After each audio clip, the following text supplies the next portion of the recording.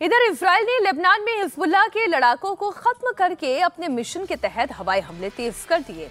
पिछले 24 घंटे में इसराइली सेना ने लेबनान के दो अलग अलग इलाकों में ताबड़तोड़ हवाई हमले किए। इसराइल ने बेरूत के दहिया और बेका घाटी में हिजबुल्लाह के ठिकानों को निशाना बनाया। इसराइली एयर स्ट्राइक में कम से कम 45 लोग मारे गए हैं और छिहत्तर लोगों के घायल होने की जानकारी आ रही है।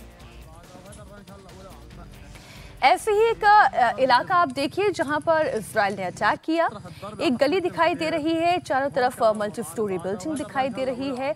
अब ये बिल्डिंग कम खंडहर ज़्यादा दिखाई देती हैं क्योंकि आग का, धुएँ का असर इस पूरे इलाके में दिखाई दे रहा है। ऐसा लग रहा है जैसे मानो रिहाइश यहाँ पर खत्म हो चुकी हो।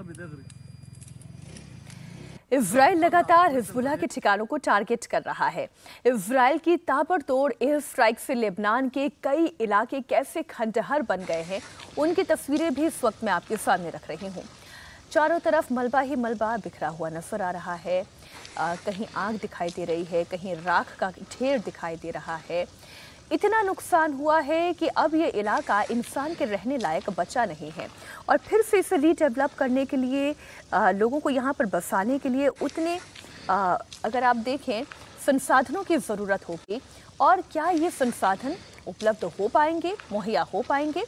एक तरीके से किसी भी शहर की इकोनॉमी तोड़ने का सबसे आसान तरीका है।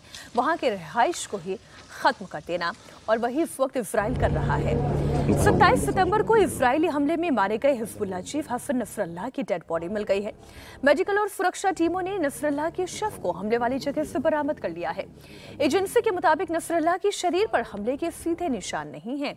उसकी मौत के पीछे तेज धमाके हुए हैं और यही ट्रामा की बड़ी वजह माने जा रहे हैं। ये देखिए तस्वीरें। जहाँ पर ये एयर स्ट्राइक हुई थी, वहीं से नसरल्लाह का शव बरामद कर लिया है। नसरल्लाह की मौत के बाद हिजबुल्लाह ने हाशिम सफिलद्दीन को अपना नेता चुन लिया है। हाशिम दीन नसरल्लाह का चचेरा भाई है। हाशिम सफिलद्दीन नसरल्लाह की मौत का बदला लेने की बात कर रहा है।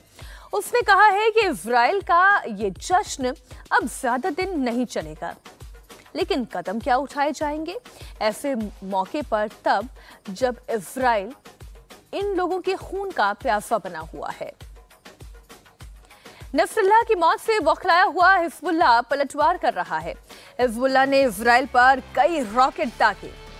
उत्तरी इसराइल के हाफिया में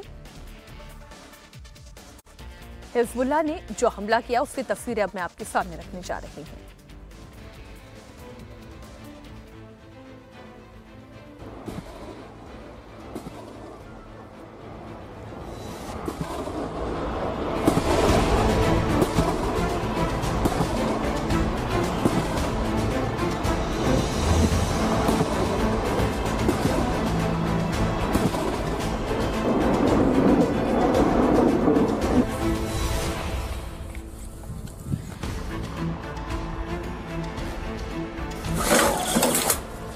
देखिए इसराइल इस वक्त तीन फ्रंट पर लड़ाई लड़ रहा है। तीन एच उसके निशाने पर है। वो हिजबुल्ला है, वो हूती है और वो हमास है। और इन तीनों के खिलाफ इसराइल ने एयर स्ट्राइक कर रखी है। इसराइल की तरफ़ इराक से भी लेकिन पलटवार हो रहा है। ये अटैक इराक की तरफ़ से किया गया, जिसकी तस्वीरें आपके सामने हैं। इसराइल पर इराक के इस्लामिक रेजिस्टेंस की तरफ़ से अटैक किया गया है।